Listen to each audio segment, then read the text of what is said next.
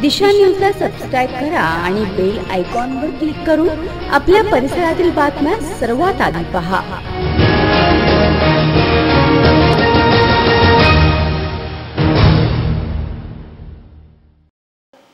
नमस्कार मी रोहिता. दिशा न्यूजमध्ये आपलं स्वागत.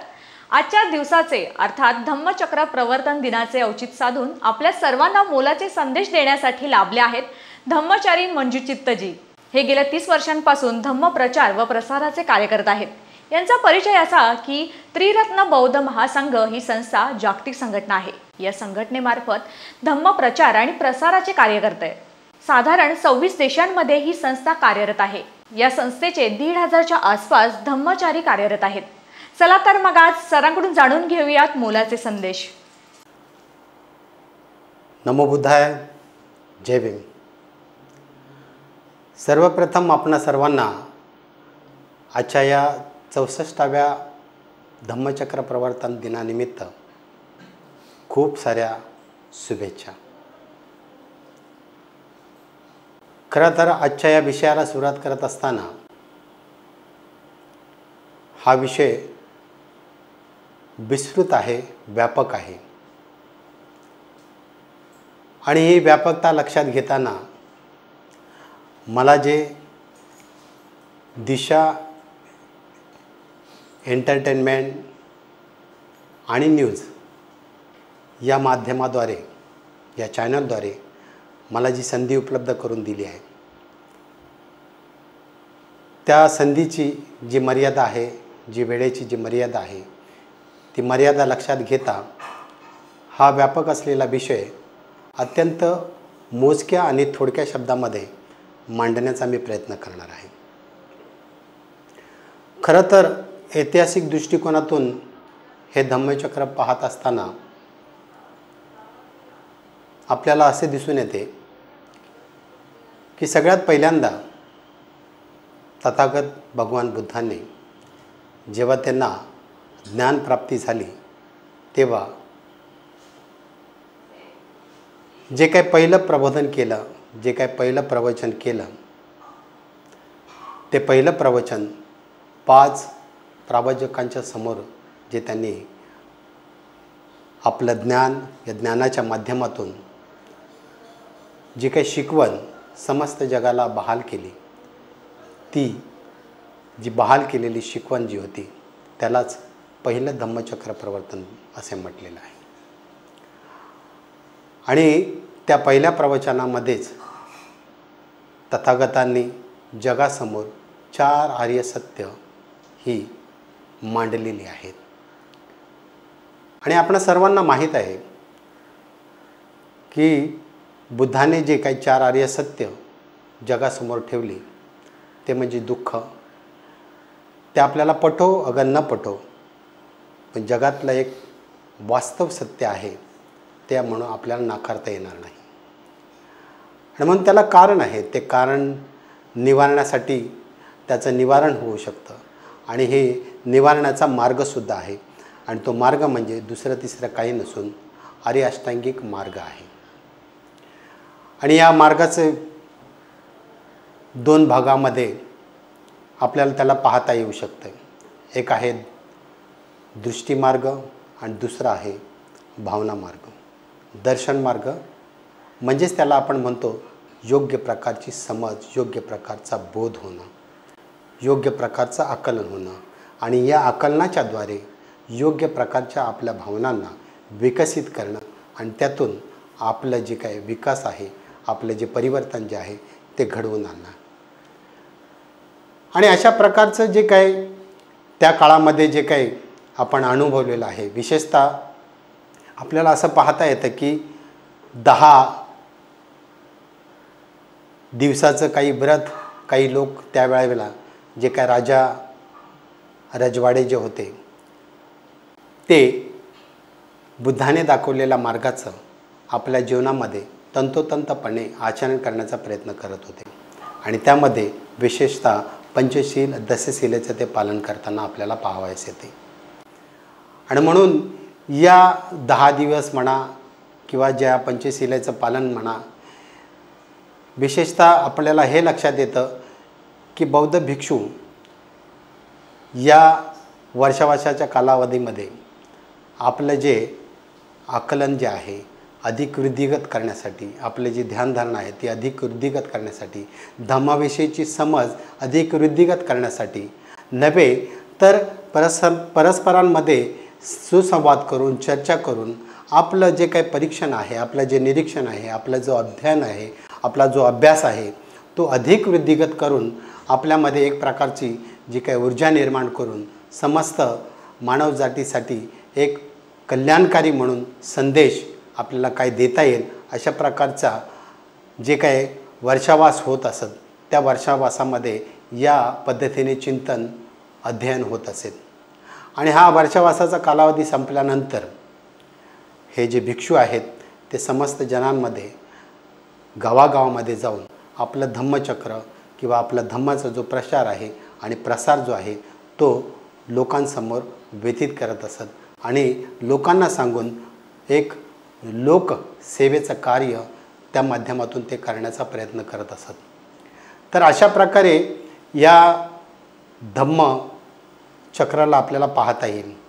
पुढे जाऊन ही एक प्रकारे संस्कृती म्हणून उदयास पावली. अशा प्रकारचे दहा दहा दिवसाचे उपासक साधना करून पंचशिलेचे आचरण करून आपला हा जो भाव आहे आपल्या ज्या भावना आहेत त्या प्रकट करत असत. ते एका उत्सवाद्वारे आणि एक उत्सव म्हणून याला एक प्रकारचं एक मान्यता प्राप्त झाली होती.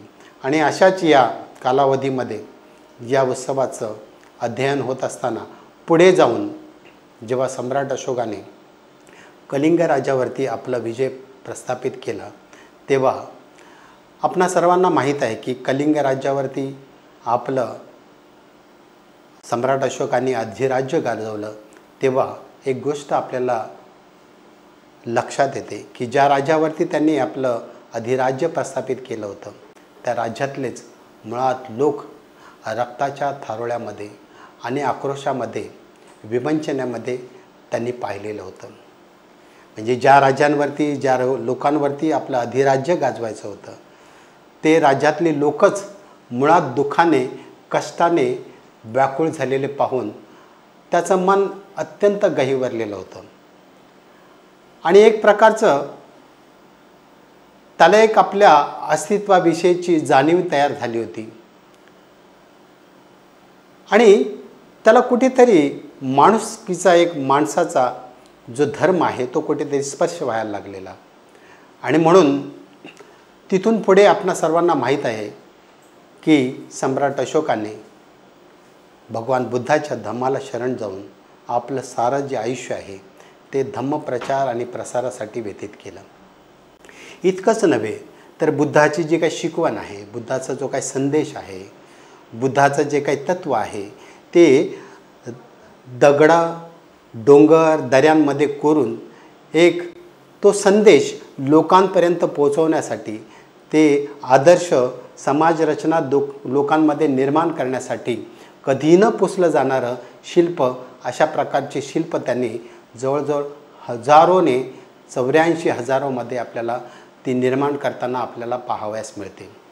आणि ही चौऱ्याऐंशी हजार शिल्पांची निर्मिती केल्यानंतर जो काही उत्सव तयार झाला जो काय संस्कृती तयार झाली त्या संस्कृतीला असं म्हणतात की तो काळ म्हणजेच सुवर्ण काळ म्हणून पाहायला जावं लागला.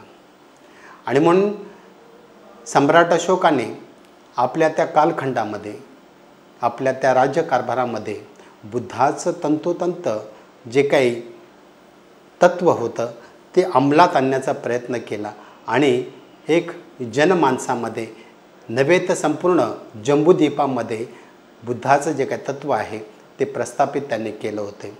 आणि एक जनकल्याणकारी राजा म्हणून जे काय आत्तापर्यंतचे राजा होऊन गेले त्या समस्त राज्यांमध्ये आपलं नाव अधोरेखित केलं सर्वश्रेष्ठ म्हणून गणना केली गेली. आणि आपल्याला इतिहासामधून हे जाणवतं. आपण हे पाहत आहोत की एक सम्राट अशोक चक्रवर्ती राजा एक भगवान बुद्धाचा एक मोठा शिष्य एक महान शिष्य होऊन गेला. की ज्यांनी बुद्धाची जी काही शिकवण आहे ती अजरामर करून ठेवलेली आहे. आणि तो जो काही ती जो काही संस्कृतीचा वारसा आहे त्यालाच आपण धम्मचक्र दुसऱ्यांदा गतिमान झाल्याचं आपण पाहिलेलं आहे. आणि तिसऱ्यांदा आपण असं पाहतो की आपणा सर्वांना माहीत आहे की चौदा ऑक्टोबर एकोणीसशे छप्पन साली डॉक्टर बाबासाहेब आंबेडकरांनी आपल्या लाखो असंख्य अनुयांना त्यांनी नागपूर या ठिकाणी बौद्ध धम्माची दीक्षा देऊन हे धम्म हे चक्र पुन्हा एकदा गतिमान केलेलं आहे. या दीक्षा देण्यामागचा जो काय उद्देश जो होता तो बाबासाहेबांना खूप चांगल्या प्रकारे अवगत होता माहीत होता की हा माझा समाज जो आहे तो दिनदुबळा आहे. अशिक्षित आहे. परंतु त्यांनी जर बुद्धाने सांगितलेल्या तत्वांची आचरणांची जर आपल्या जीवनामध्ये ही तत्व हे आचरण उतरवलं तर एक योग्य प्रकारचा एक योग्य प्रकारचा व्यक्ती बनेल आणि पुढे जाऊन तो आपल्यामध्ये जे काय बदल झालेले आहे या बदलाने या भारत देशातल्या बदलासाठी तो एक आपलं समर्पण देऊ शकेल अशा प्रकारचा आशावाद त्या धम्मचक्रामध्ये सामावलेला होता. आणि दोन पद्धतीने तो आपला विकास करू शकेल. एक आपला बौद्धिक आणि भौतिक जो विकास आहे या दोन्ही विकासांची सांगड या बौद्ध धर्माच्या दीक्षेने बौद्ध धर्माच्या अनुसरणाने त्याला ती साधता येईल हा त्या पाठीमागचा आशय होता. तर बंधून आपल्या सर्वांना माहीत आहे की या दिनाचं जे महत्त्व आहे ते हेच अधोरेखित करतं. ते म्हणजे उत्तम प्रकारची प्रेरणा आणि उत्तम प्रकारचं मार्गदर्शन. अशा उत्सवांमधून या दिनांमधून तेच अभिप्रेत होत असताना आपण पाहतो. आपणा सर्वांना माहीत आहे की मनुष्य म्हणून एक माणूस म्हणून आपल्याला एक विलक्षण असं सामर्थ्य लाभलेलं आहे. आणि ते म्हणजे आपल्याला लाभलेली बुद्धी आपल्याला लाभलेलं विचारांचं सामर्थ्य आपल्याला लाभलेली विवेकशीलता आणि आपल्याला लाभलेलं चिंतनाचं सामर्थ्य. या चतुसूत्र अंगाने याच्या प्रयोगशीलतेने जर आपण आपल्यामध्ये याचं मंथन केलं हे आत्मसात केलं तर आपण एक योग्य प्रकारचं आपल्यामध्ये सामर्थ्य आपण निर्माण करू शकतो. आणि या सामर्थ्याद्वारे या प्रयोगशीलतेद्वारे आपला जो काय आपला जो स्वभाव धर्म आहे या स्वभाव धर्माबरोबरच आपल्या व्यक्तित्वातल्या सर्व अंगांना सर्व अंगांमध्ये आपण आपलं परिवर्तन करून एक योग्य प्रकारचं माणूस पण आपण आपल्यामध्ये निर्माण करू शकतो जे पुढे जाऊन आपल्याला एक मानव स मानव सेवा देण्यासाठी बहाल करता येऊ शकेल. आणि म्हणून या साऱ्या गोष्टींना लक्षात घेता आपल्याला हे जाणवेल की हे जे दोन महामानव होऊन गेलेले आहेत या दोन महामानवांच्या जीवनामध्ये सुद्धा याच गोष्टींचं सामर्थ्य सामावलेलं आपण पाहिलेलं आहे. योग्य प्रकारची बुद्धिमत्ता योग्य प्रकारची विवेकशीलता आणि उत्तम प्रकारचं चिंतन याद्वारे त्यांनी आपल्या जीवनामध्ये अमूलाग्रह बदल करून जे काही मानवसेवेसाठी आपलं व्रत आपलं सारं जीवन जे काही समर्पित केलेलं आहे त्या समर्पित केलेल्या जीवनाचाच हा गौरव म्हणून आपण हे धम्मचक्र अनुभवत आहोत पाहत आहोत. आणि या धम्मचक्राच्या माध्यमातूनच आपण हेच शिकून घेण्याचा प्रयत्न आपण केला पाहिजे. हे जुन हे दोन्ही महापुरुष जे काही उदयाला आले. त्या दोन्ही महापुरुषांनी आपल्या जीवनामध्ये बुद्धाच्या तत्वाविषयी बुद्धाच्या धम्माविषयी ते खूप प्रामाणिक राहिले. आणि खूप प्रामाणिक राहून आपल्या जीवनामध्ये जो काही अमूलाग्रह बदल घडवून आणला त्या बदलामधूनच जे काही प्रज्ञा प्राप्त केलेली आहे जे काही शहाणपण प्राप्त केलेलं आहे जे काही ज्ञान प्राप्त केलं आहे या ज्ञानाच्या माध्यमातूनच त्यांनी समस्त जनांना जे काय मार्गदर्शन केलेलं आहे जे काही प्रबोधन केलेलं आहे ते ह्या बुद्धाच्या तत्वाला अनुसरून त्यांनी आपल्या जीवनामध्ये जे काय अमूलाग्रह जो बदल केलेला आहे या बदलाच्या माध्यमातूनच त्यांनी काय केलेलं आहे? आपल्या समस्त जगणाऱ्या ज्या लोकांना या लोकांना त्यांनी एक प्रकारचं काय केलेलं आहे? त्यांनी मार्गदर्शन केलेलं आहे. आणि आपलं जे ज्ञान आहे ते शेवटपर्यंत या समाजासाठी समाजाच्या उत्थानासाठी समाजाच्या प्रबोधनासाठी आपलं सारं जे काही पांडित्य होतं आपलं जी काय ज्ञानाची गंगा होती ती समर्पित केलेली आपण पाहिलेली आहे. आपण पाहत आलेलो आहोत. इतकंच नव्हे तर या ज्ञानाचा उपयोगसुद्धा त्यांनी बंधुत्व आणि समता प्रस्थापित करण्यासाठी त्यांनी आपलं सारा जे आयुष्य आहे ते या गोष्टीसाठी पणाला लावलेलं आपण पाहिलेलं आहे. आणि या देशाच्या जडणघडणीसाठी नैतिकतेसाठी सदाचारासाठी उत्तम प्रकारचं काम करून त्यांनी हे समस्त मानवजातीला दाखवून दिलेलं आहे की बुद्धाच्या या शिकवणीप्रमाणे जर आपण वागण्याचा प्रयत्न केला आपण अनुसरण्याचा प्रयत्न केला तर एक योग्य प्रकारचा माणूस आपण बनू शकू योग्य प्रकारचं एक मार्गदर्शक बनू शकू अशा प्रकारचं त्यांनी प्रबोधन या दिनांच्या माध्यमातून या उत्सवांच्या माध्यमातून आपल्याला करताना आपण पाहत आलेलो आहोत. आणि म्हणून ह्या उत्सवांचं खऱ्या अर्थाने जेव्हा आपण या उत्सवांकडे पाहत असतो तेव्हा हा उत्सव जो आहे त्या उत्सवामध्ये एक प्रकारचं जे काही सामर्थ्य आहे हा उत्सव म्हणजे एक प्रकारचा उत्साह आहे. आणि जेव्हा एखाद्या उत्साहाला आपण पाहतो तेव्हा त्या उत्साहामध्ये एक प्रकारचं तेज आहे चैतन्य आहे सामर्थ्य आहे शक्ती आहे त्याच्यामध्ये. आणि म्हणून ह्या शक्तीला योग्य प्रकारची दिशा असेल योग्य प्रकारची जर बौद्धिक सामर्थ्य जर लाभलेलं असेल योग्य प्रकारचं चिंतन असेल योग्य प्रकारची विवेकशीलता जर असेल तर अशा प्रकारच्या उत्सवांमधून एक प्रकारे एक दिशादर्शक एक मार्गदर्शक म्हणून पुढे येऊन समस्त जनासाठी ती एक दृष्टी ठरू शकते. एक हित समाजासाठी ते ठरू शकतं. तर हा उत्सव साजरा करत असताना आपल्याला जे बुद्धाने जे काही शिकवण दिलेली आहे जे बुद्धिप्रामाण्यवाद आपल्याला दिलेला आहे त्याचा योग्य प्रकारे आपल्याला उपयोग करता आला पाहिजे. आणि म्हणून या बुद्धीचा योग्य प्रकारे जर आपण उपयोग केला आप आपल्याला जी लाभलेली विवेकशीलता आहे त्या विवेकशीलतेचं आणि चिंतनाचं या साऱ्यांचं प्रयोगशीलतेने जर आपण आपल्यामध्ये सामर्थ्य जर आपण निर्माण केलं आणि आपल्या स्वभावधर्मांना आणि आपल्यामध्ये लाभलेलं जे व्यक्तित्व आहे त्या व्यक्तित्वाच्या सर्व अंगांना समर्पक असं आपलं व्यक्तिमत्व जर आपण बनवलं तर या भारत देशाचं पुन्हा एकदा सुवर्णयुग निर्माण झाल्याशिवाय राहणार नाही. असं जे काही प्रबोधन आहे हे प्रबोधन आपल्याला अशा या उत्सवांमधून अशा या धम्मचक्राच्या दिनांच्या माध्यमातून आपल्याला अवगत होताना आपण पाहू शकतो. नव्हे तर याला डोळसपणे आपल्याला पाहता आलं पाहिजे.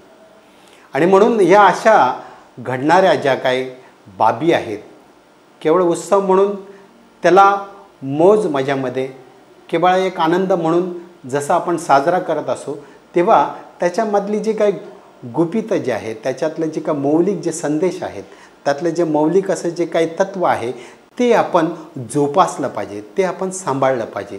ती जी संस्कृती आहे ती आपल्याला निर्माण करता आली पाहिजे. आणि म्हणून हे निर्मितीचं माध्यम आहे. हे बदलाचं माध्यम आहे. हे परिवर्तनाचं माध्यम आहे. आणि म्हणून हा दिवस साजरा करत असताना आपल्याला सर्वांना माहीत आहे धम्मचक्र प्रवर्तन दिन म्हणजे बदल आहे. आणि म्हणून प्रत्येक दिवस जेव्हा आपण हा आपला प्रत्येक दिवस येणारा जो आहे तो आपल्या दृष्टीने हा बदलाचा आहे बदलणारा आहे. एक मनुष्य प्राणी म्हणून आपण सर्वांना माहीत आहे की मनुष्य हा विकसनशील प्राणी आहे. तो विकास पावणारा प्राणी आहे सजीव आहे. आणि म्हणून विकास होण्याचं जे काही सामर्थ्य त्याच्यामध्ये लपलेलं आहे ते बुद्धाने त्यावेळेला सांगितलं होतं. की मी जसं या बुद्धत्वापर्यंत पोचलेलो आहे तसं आपण सारे मानवजात सारे मनुष्य या बुद्धत्वापर्यंत पोचू शकतात. आणि ते सामर्थ्य ते बीज स्वरूपामध्ये प्रत्येकामध्ये सामावलेलं आहे. फरक एवढाच आहे की त्या लाभलेल्या सा या साऱ्या गोष्टींना आपल्याला डोळसपणे पाहता आलं पाहिजे त्याचं अवलोकन करता आलं पाहिजे आणि ते शिकलं पाहिजे. आपल्यामध्ये विकसित करता आलं पाहिजे. आणि म्हणून बुद्धाचं जे तत्त्व जे आहे ते शिक्षण प्रक्रिया आहे. ते जाणून घ्यावं लागतं. जाणलेलं स्वतःमध्ये धारण करावं लागतं. आणि धारण केलेलं आपलं जीवन प्रदर्शित करावं लागतं. तशा पद्धतीने आपल्याला जगावं लागतं. म्हणजे हे तत्त्व पहिल्यांदा आपल्यामध्ये रुजवावं लागतं. आणि आपल्यातले जे काही धम्म जो आहे आपल्यातलं जे काही ज्या धारणा आहेत त्याला विकसित कराव्या लागतात. आणि ते झालेलं विकसित जे अंग आहे ते आपल्याला खऱ्या अर्थाने आपल्यामध्ये परावर्तित करावं लागतं. त्याला एक प्रकारची गती द्यावी लागते. आणि गती दिलेले जे जीवन आहे ते समस्त जनासाठी समस्त मानवसेवेसाठी आपल्याला समर्पित करावं लागतं. आणि म्हणून बुद्धाने जी काही समज निर्माण करून दिलेली आहे बुद्धाने जी काही दृष्टी निर्माण करून दिलेली आहे बुद्धाने जे काही तत्त्व निर्माण करून दिलेलं आहे ते खऱ्या अर्थाने आपल्याला अवगत करता आलं पाहिजे. आणि म्हणून अशा प्रकारचे जे काही उत्सव आहे अशा प्रकारचे जे काही दिन साजरे होत असताना आपल्याला डोळसपणे ह्या गोष्टी आपल्यामध्ये रुजत आहेत का? आपल्यामध्ये त्याची बीजं रुजताना आपल्याला दिसत आहेत काय? आणि म्हणून आदर्श समाज रचना निर्माण होत असताना या तत्वांना खूप बारकाईने आपल्याला पाहता आलं पाहिजे. आणि म्हणून जे जे काही आदर्श समाज रच रचनेसाठी पायाभूत असे जे काही शास्त्र जे आहेत ज्याला आपण म्हणतो अर्थशास्त्र आहे समाजशास्त्र आहे नीतिशास्त्र आहे धर्मशास्त्र आहे असे जे विविध जी काही कलाशास्त्र आहेत या विविध शास्त्रांमध्ये हे रुज रुजवले गेले पाहिजे. या संबंध शास्त्रांमध्ये हे अध्ययन रुजलं गेलं पाहिजे. या संबंध शास्त्रांमध्ये याचं परिवर्तन झालं पाहिजे. आणि म्हणून ही नैतिकता हा सदाचार ही संस्कृती जेव्हा जेव्हा आपल्याला या शास्त्रांमध्ये परावर्तित झालेले दिसेल तिचा उदय झालेला दिसेल तेव्हा खऱ्या अर्थाने आपल्याला हे जाणवेल की ही जी शास्त्र जी आहे ती शास्त्र खऱ्या अर्थाने आदर्श मानव समाज रचनेसाठी एक संजीवनी ठरू शकेल. आणि म्हणून या शास्त्रांमध्ये खऱ्या अर्थाने ती निर्मिती ते सामर्थ्य निर्माण झालं पाहिजे. ती नैतिकता तो सदाचार तो रुजला गेला पाहिजे.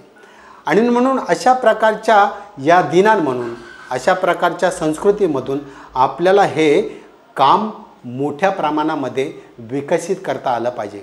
आणि म्हणून बाबासाहेबांनी आपलं धर्मांतर करत असताना बाबासाहेबांनी ही गोष्ट आवर्जून सांगितलेली आहे. आणि ती म्हणजे दरेकाने दरेकाला दीक्षा दिली पाहिजे.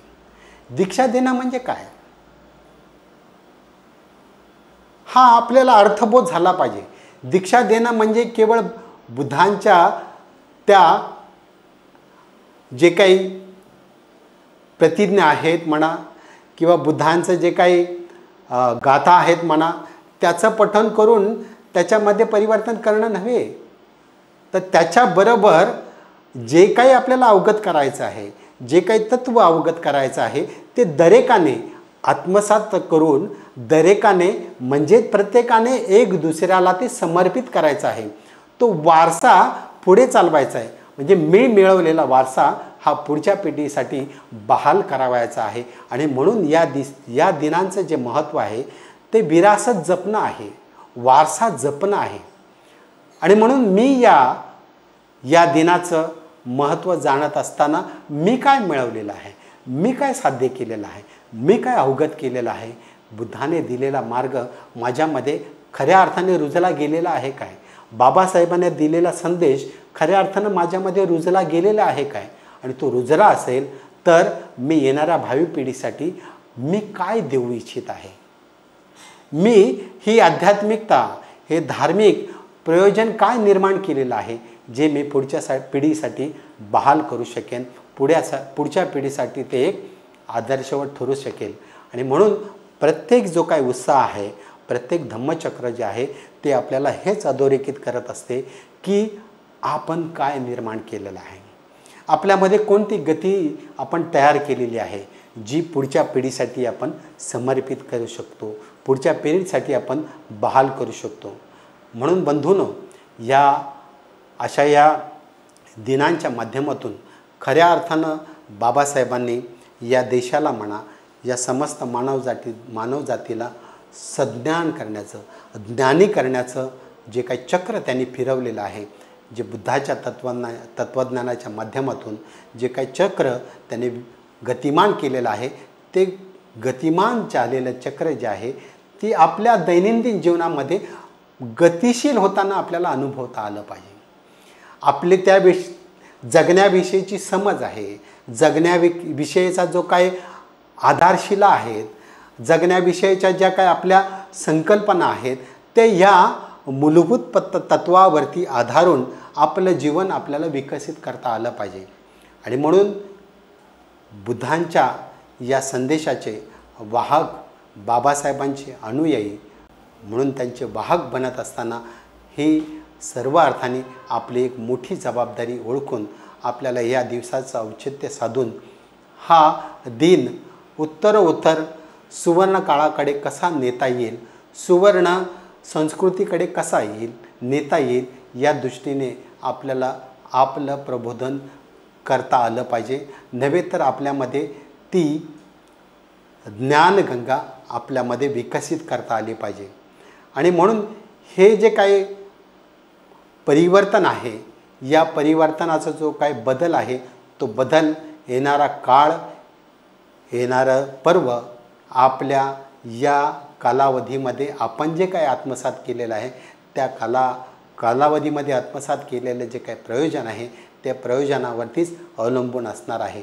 आणि म्हणून या महान अशा तीन अशा गतिशील झालेल्या धम्मचक्राला आपल्या जीवनाची आधारशिला आपल्याला बनवता आली पाहिजे. आणि आपल्या या तीन झालेल्या गतिमान धम्मचक्राच्या आधारशिलेला वरती आधारित राहून आपलं जे जीवन आहे ते आपल्याला गतिमान करता आलं पाहिजे. आणि म्हणून बंधूनो या शेवटच्या सांगतेकडे मी जात असताना एका कवीने खूप सुंदर असं काव्य लिहिलेलं आहे त्याला गझल म्हटलेलं आहे. आणि त्या गझलेचे काही पंक्ती जे आहेत ते या आजच्या दिनाला अत्यंत उपयुक्त ठरतील अशा प्रकारच्या त्या अधोरेखित केलेल्या ज्या काही पंक्ती आहेत ते मी आपल्यासमोर त्या पठन करतो. निश्चितच या दिवसाला अनुसरून त्या आपल्याला त्यातून प्रबोधन करून घेता येईल अशी मी आशा व्यक्त करतो. आणि म्हणून तो कवी काय म्हणतो आहे कवी हे म्हणतो आहे कि सफ़र में धूप तो होगी. सफ़र में धूप तो होगी जो चल सको तो चलो. सफ़र में धूप तो होगी जो चल सको तो चलो. सभी है भीड़ में। सभी है भीड़ में। तुम भी निकल सको तो चलो। यहाँ किसी को कोई रास्ता नहीं देता। यहाँ किसी को कोई रास्ता नहीं देता। मुझे गिराकर मुझे गिरा कर अगर तुम संभल सको तो चलो। किसी के वास्ते राहें कहाँ बदलती हैं? किसी के वास्ते राहें कहाँ बदलती है? तुम अपने आप को खुद ही बदल सको तो चलो। सफ़र में धूप तो होगी दो चल सको तो चलो। बंधूनो मला जे म्हणायचं होतं ते या शेवटच्या पंक्तीतून आपण समजून घ्याल अशी मी अपेक्षा व्यक्त करतो. आणि मला जी काही संधी या दिशा एंटरटेनमेंट चॅनलद्वारे मला जी देण्यात आली त्याबद्दल मी त्यांचेही मनपूर्वक आभार मानून आपणांना पुन्हा एकदा मी हार्दिक शुभेच्छा देऊन मी या ठिकाणी माझे दोन शब्द पूर्ण करतो. जय भीम. खूप सुंदर असं धम्मचक्र प्रवर्तनाची माहिती आणि महत्त्व आपल्या सरांनी आपल्याला सांगितलेलंच आहे. त्यामध्ये कुठेतरी असं वाटतं की गौतम बुद्धांनंतर आलं अशा सम्राट अशोकाने सांगितली. त्यानंतर डॉक्टर बाबासाहेब आंबेडकर यांनी सुद्धा धर्मचक्र प्रवर्तन याचं महत्त्व काय आहे? त्याची माहिती आपल्याला सरांकडून मिळालेलीच आहे. धन्यवाद सर तुम्ही आम्हाला हे सर्व महत्त्व पटवून दिल्याबद्दल. आणि तुमचं खूप कार्य खूप सुंदर आहे. ते प्रचार करताय प्रसार करताय त्याच्याबद्दल सुद्धा तुमचे पुढच्या वाटचालीसाठी शुभेच्छा आहेत. त्यानंतर आमच्या दिशा न्यूजला सबस्क्राईब करून बेल आयकॉनवर क्लिक करायला विसरू नका. धन्यवाद. त्याचबरोबर पुढच्या आणखी माहितीसाठी आपण सरांना तर भेटणारच आहोत. तोपर्यंत पाहत राहा दिशा एंटरटेनमेंट आणि न्यूज. दिशा न्यूजला सबस्क्राईब करा आणि बेल आयकॉनवर क्लिक करून आपल्या परिसरातील बातम्या सर्वात आधी पहा.